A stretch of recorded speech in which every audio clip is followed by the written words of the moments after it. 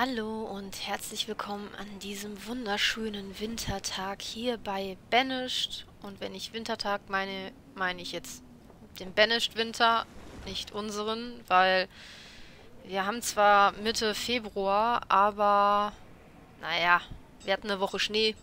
Winter ist das nicht. Winter ist das schon lange nicht mehr. In der letzten Folge haben wir hier die paar Häuserchen gebaut, damit unsere kleinen Einwohner hier auch eine schöne Schlafmöglichkeit haben. Immerhin wollen wir ja, dass sie sich reproduzieren. Was steht in dieser Folge so an? Erstmal, wir haben so gut wie keine Leute. Das heißt, wir müssen echt gucken und handeln, wie wir sie hin und her schieben. Jetzt habe ich erstmal die Sammlerhütte soweit eingeleitet gehabt in der letzten Folge. Wo ich jetzt feststelle, dass ich sie echt scheiße gebaut habe. Glückwunsch nochmal da an mich. Egal. Dieser Weg wird ein leichter sein. Das sollte schon zu schaffen sein. Machen wir einfach so. Damit unsere Leute hier noch ein bisschen was Besseres kriegen für ihre Ernährung, dann bauen wir die Hütten hier. Oder nee, dann, dann bauen wir die Jagdhütte. Ja, guck mal, ich, ich habe das nur gemacht, damit man das bis hier oben hin verbinden kann. Es hat alles Taktik hier. Es ist alles kalkuliert gibt es keine Missplays. Hier gibt es nur kalkulierte Sachen. So und nicht anders.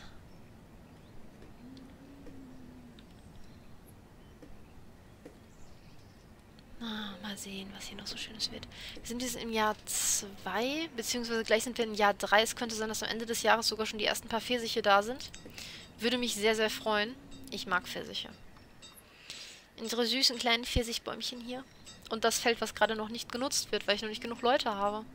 Hm. Und die Werkzeuge. Sehr, sehr gut. Der Holzfäller ist auch wieder zugange. Oh nein, es ist ein Herzchen wieder weggegangen. Nein. Ich brauche eine, eine bessere Ernährung. Baut den Kräutersammler schneller. Und wir brauchen Fleisch, nicht nur Fisch. Bin ich zumindest der Meinung. Alles andere kann man halt noch nicht traden. Also, ja. Hier, hier sind Kräuter. Nehmt sie euch. Packt sie euch ins Essen. Es sind genug für alle da. Ihr müsst sie essen. Sie sind für eure Gesundheit. Werdet nicht krank. Ich brauche einen Arzt. Ha! Okay, das war jetzt eine Einsicht. Die kam echt Wunderbar. Äh, der, der frisst so... Ich kann es mir leisten. Der frisst so viel. Nee, Moment, ich mach's doch. Dann als nächstes direkt den Arzt. Scheiß auf die Jagdhütte. Vielleicht hilft das Krankenhaus, ja. Wo zwack ich denn jetzt wieder einen ab? Aus der Forsthütte werde ich gleich einen abzwacken müssen.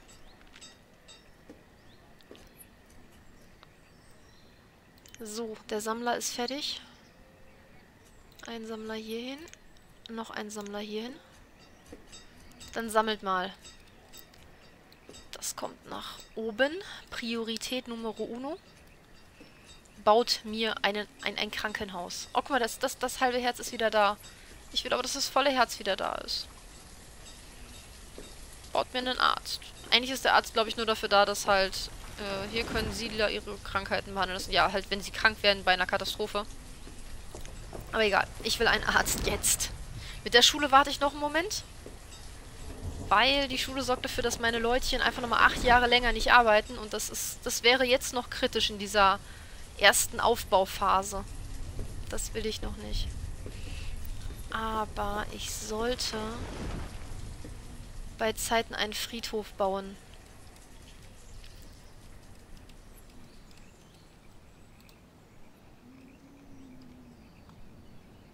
Ja, ich, ich glaube nicht, dass du hier sammeln gehst. Hier baue ich einen Mini-Friedhof hin. Nein. Oder hier oben hin und dann mit dem Tunnel verbinden. Was wäre eigentlich für die Idee? Kann ich einen Tunnel dahin bauen? Wobei ein Tunnel auch immer so viel Steine frisst. Ich könnte. Es würde mich nur 68, 67, genau. 76. Jetzt habe ich's. Es wird mich nur 76 Steine fressen, äh, kosten. Erstmal nicht. Ja. Will ich eigentlich was anderes hinmachen? Es... Oder ihr lauft dahin. Macht es wie die Tiere und lauft. Bis ich einen Tunnel für euch habe.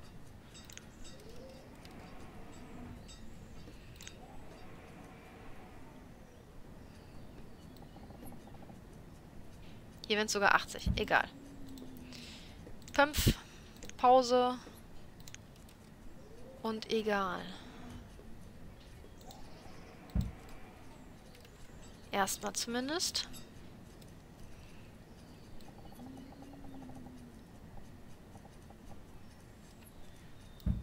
Hier brauche ich auch Steine für. Aber auch erstmal egal. Ich werde den Friedhof spätestens bauen, spätestens, wenn ich den Steinbruch baue.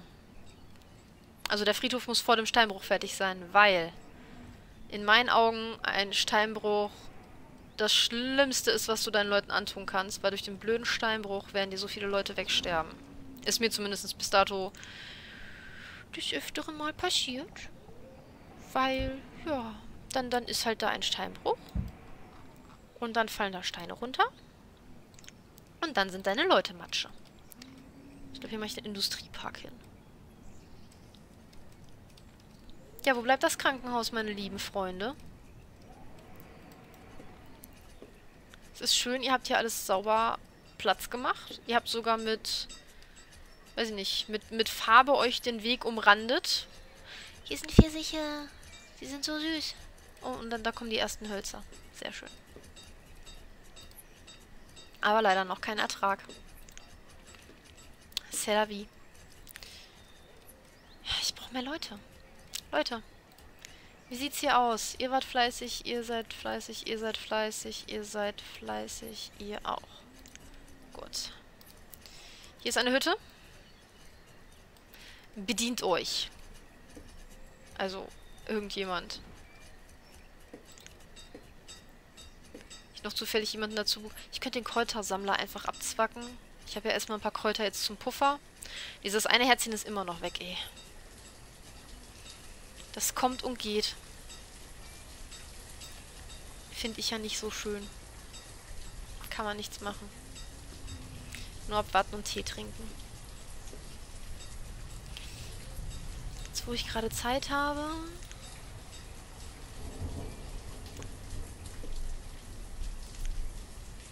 Ach du Scheiße. Ja, was meckerst du? Was? Okay. Das ist jetzt nicht... Da haben wir wieder meine momentane Jahr 2 Knappheitsgeschichte. Ja klar, neue Hütten. Die nehmen natürlich nicht das, was hier drin ist. Das lassen die irgendwie hier drin und nehmen sich immer wieder was Neues. Eisenvorräte. Ja, das, das kann ich auch noch nachvollziehen. Aber der Sammler ist jetzt da. Da. Hier, hat er denn schon was gesammelt? Ja, guckt euch das mal an. Wurzelbeeren, Zwiebeln. Der ist doch dabei. Hier kommt auch ein bisschen was rum. Guckt euch das mal an. Es ist später Frühling, es ist, guck mal, hier ist bald Ernte, also alles halb so schlimm. Ich brauche aber definitiv neue Leute.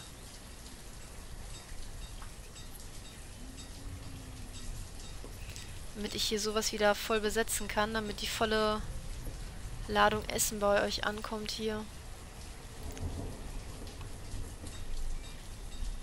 Aber erstmal will ich mein Krankenhaus haben. Okay, ich muss dann auch wieder einen abstellen als Arzt, aber... Es muss sein. Und ich muss... Ja, oh, ich muss so vieles. Dieses Spiel. 3, 2, 1, Bohnenernte. Jetzt? Jetzt? Jetzt. Endlich.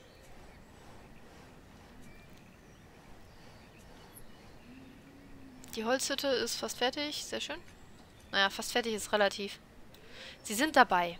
Sie sind mehr dabei als Lustigerweise beim Krankenhaus. Oh, wir, wir wollen lieber eine neue Unterkunft haben. Ist scheißegal, ob wir krank werden. Ich will ein eigenes Haus. Dass ich krank werden könnte und sterben könnte und nicht in diesem Haus leben könnte, ist mir egal. Kommt mir bekannt vor. Gesundheit vor, äh, nicht Gesundheit vor Lebensstandard, das wäre ja richtig. Lebensstandard vor Gesundheit. Und da bauen sie wieder die ganzen Böhnchen ab. Was hab ich voll Bock auf Bohnen. Hm. Nee. Einkaufen ist nicht mehr. Wie sie hier einfach alle rüberrennen. Weißt du, hier ist nur Straße hingebastelt. Zwar mehr, mehr schlecht als recht, weil hier zwischendurch ein Punkt ist, der nicht Straße ist. Also sie rennen hier einfach alle drüber. Wer braucht schon Straßen, wenn er laufen kann? Wir brauchen keine Straßen. Ich wollte sagen, nimmt das Stück da mit. Es reicht schon, dass ihr hier immer wieder Körbe drauf vergisst. Und Hütte fertig. Und wer zieht ein? Roseville. Nochmal. Evelyn. Kalis und Dicky. Dicky ist ein kleiner Junge. Hm, Klischee. Der kleine Dicky. Der kleine Dicky ist im Übrigen bald 10 und dann jage ich ihn aufs Feld. Dann wird er bald Dünni genannt. Oh, da ist auch noch ein, ein potenzieller, da ist noch ein potenzieller Mensch für mich. Sehr schön. Ich sage einfach ein potenzieller Mensch. Das klingt schöner. Jagdhütte. Weil Essen, Essen, Essen ist. Wie sieht's hier aus? Ja, ihr sammelt fleißig, ihr zwei drei potenzielle Leute.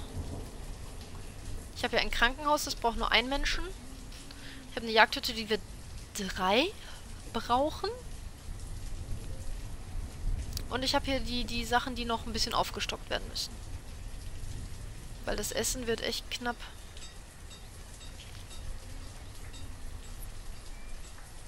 Wie sich alle auf die Jagdhütte stürzen. Mach das Krankenhaus zuerst. Hier, das Krankenhaus. Ach, Leute. Macht mich doch nicht wahnsinnig. Macht das doch nicht mit mir. Es gehört sich nicht. Es gehört sich überhaupt nicht.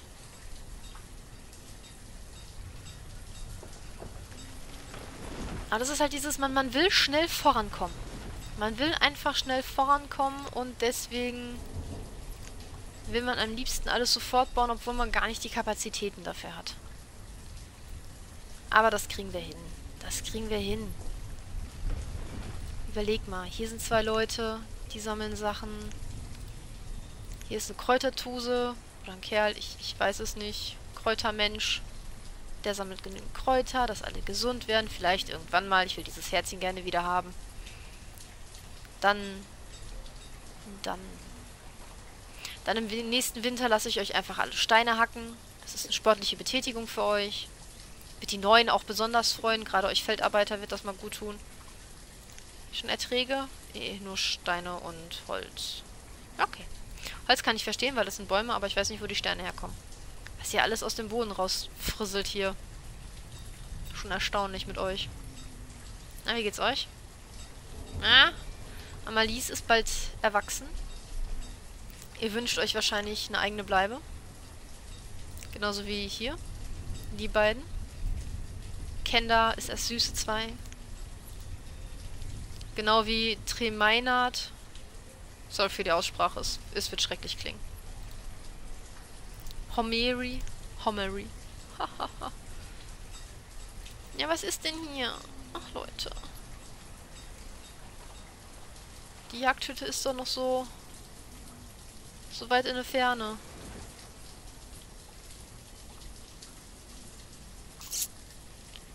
Ist das... Ist das... Funktioniert das? Ja. Das ist nicht mal eine direkte Verbindung. Naja. Mehr schlecht als recht. Aber sollte funktionieren. Oh, der, der, der Umriss. Umriss ist schon mal gut. Das heißt nämlich, dass alle Ressourcen endlich da sind. Ist das nicht ein schön... Ein Arzt umgeben von Bäumen? Ist doch viel schöner, als auf einer Autobahn zu gucken. Oder sonst wohin. Wen haben wir denn hier? Trey Maynard. Du bist ein Kind. Du bist Süße 3 und kannst dafür aber echt gut laufen. Das kriege ich dich wahrscheinlich... Ja, so kriege ich dich auch weg. Ich klicke aufs Feld. Das muss ich mir merken. Oh, drei neue Leute. Wohin mit euch? Es ist späte Sommer. Ich pack euch zum Sammler und zum Fischer und zum Förster. Förster? Nein? Fischer. Fischer. Fischer ist besser. Holz haben wir noch, das ist okay. Damit kann ich leben. Aber wir haben nur 1200 Essen. Wir haben keine Ernte mehr für dieses Jahr. Und der Winter naht. Oh, oh, der erste Ertrag. Das wird nicht auf 100% kommen. Dafür ist es viel zu wenig, also viel, viel zu wenig, viel zu wenig Jahr noch. Aber wir werden dieses Jahr die ersten Pfirsiche ernten können. Hm, das heißt, im nächsten Jahr wird das ganze Ding blühen und wir können alles ernten. Yay, wir haben Obst.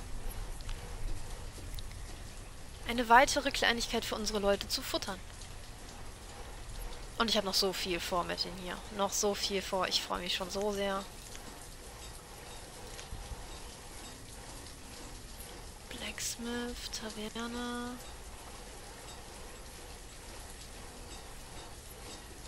Apotheke. Apotheke wäre auch gut.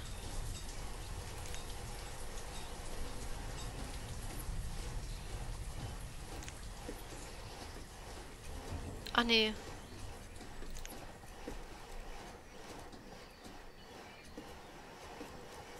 Nee, nee, nee, nee.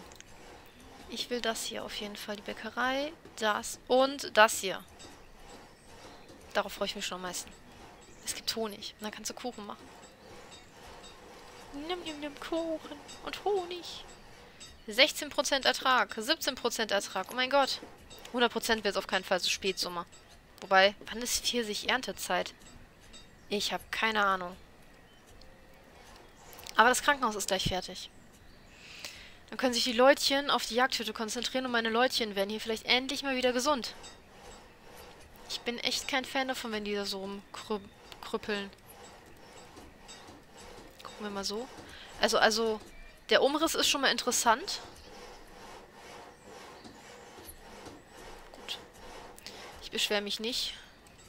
Architekten haben schon skurrilere Dinge gebaut. Und fertig? Oder geht ihr jetzt nochmal durch die Gegend und macht irgendwas? Fertig. Und einen Arzt. Keine Patienten. Gut, ich glaube, es ist wirklich so, dass, der, dass das Krankenhaus nur genutzt wird, wenn eine Epidemie passiert. Aber egal. Wir haben ein Krankenhaus. Das heißt, jetzt kann die Grippe ausbrechen. Bei dem ganzen Regen würde es mich nicht wundern. So. Als nächstes die Jagdhütte.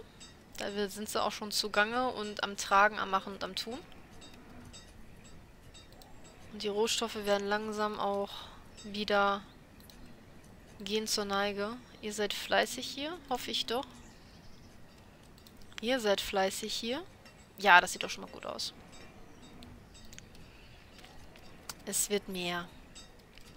Und das ist das Wichtigste. Hier noch irgendwas nebenbauen? Also ich werde diese App, äh, diese App, ich werde diese Mod aktiv nutzen.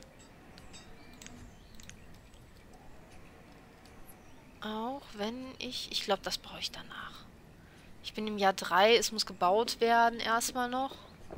Ich brauche noch Iron. Oh, apropos Iron. Leute, es ist Frühherbst.